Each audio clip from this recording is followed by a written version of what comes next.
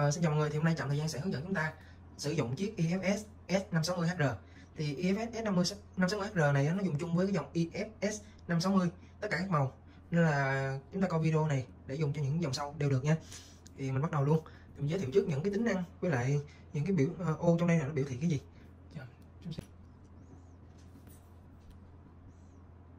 Ok thì cái đây cái đầu tiên đây là ngày tiếp theo uh, cái dòng này cái kim dây nó không phải là cái, cái kim dài như ờ, những cái chiếc đồng hồ cơ mà cái kim dây của nó đặc biệt nằm ở chỗ này nó nằm bên đây.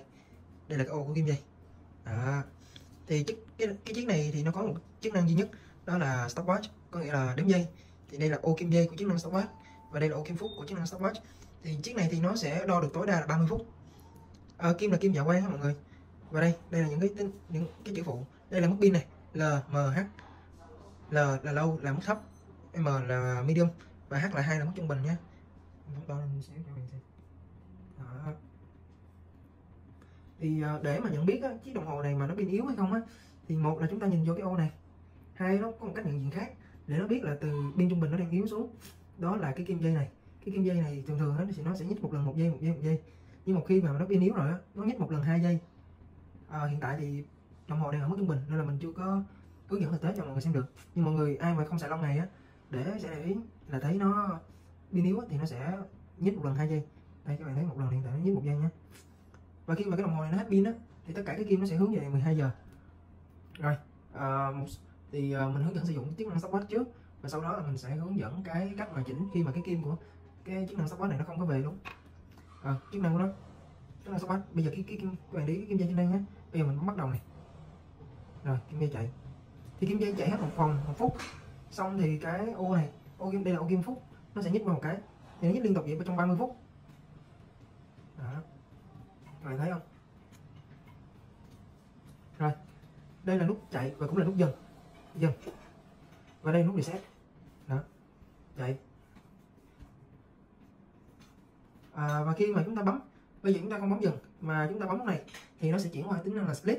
Split tức là mình giãn cách ra cái thời gian ví dụ như ờ, mình về một cuộc đua marathon á thì sẽ có người về nhất người về nhì. Ví dụ người về nhất về trước thì bấm nút này. Rồi nó ngừng sau đó thì mình bấm nút này tiếp. Đó. À, một số khách hàng của mình á có nhắn tin là hỏi mình là tại sao khi mà mình reset như thế này á mà cái kim dây nó lại không có về hướng thẳng đứng lên mà nó lại vạch lệch qua một chút xíu. Hoặc là cái kim phút nó không về cái mức số không không không phút thì ờ, tiện đây mình hướng dẫn luôn. Để mình reset lại cái. Để mình hướng dẫn cho nó dễ. Rồi. Đầu tiên á, thì chúng ta sẽ kéo cái đống này ra. Nấc hai nấc. Một nấc này hai nấc. Rồi. Kim dây ngừng hoạt động. Rồi, kim dây ngừng hoạt động. Sau đó chúng ta sẽ đè nút này. Rồi. Kim phút nó quay như vậy, tức là chúng ta đã vừa vô chức năng kích chức năng reset. Thì đầu tiên á, cái kim phút chúng ta sẽ chỉnh kim phút trước. Chúng ta sẽ dùng nút ở dưới đây để quay. Một á, là kim phút nó đưa về chữ L hai là chúng ta đưa nó thẳng đứng. Rồi bây giờ mình bấm nè. Đó hai là mình đè cho nó quay nhanh. Đó, một là đứng đứng hướng 12 giờ. Hai là chúng ta cho nó về chữ L. Thì cái nào mình thấy tiện hơn thì mình làm. Rồi hiện tại đây mình là mình chọn chữ L nhé. Mình bấm nút này thì mình sẽ chuyển qua mình chỉnh cái kim dây. Để mà biết là nó đang chỉnh chức năng nào kim dây kim phút á thì cái kim này nó sẽ quay một vòng để cho chúng ta biết là mình đang chỉnh ở vị trí đó. Bấm này. Rồi bây giờ ví dụ như là cái cái cái kim dây này nằm đây đi. Thì cái kim dây buộc chúng ta phải chỉnh về 12 giờ hướng thẳng đứng lên. Bây giờ mình quay. Ừ, đốn chút xíu này. Đây. Ok 12 giờ. Thì mình cho nó hướng thẳng đứng về 12 giờ.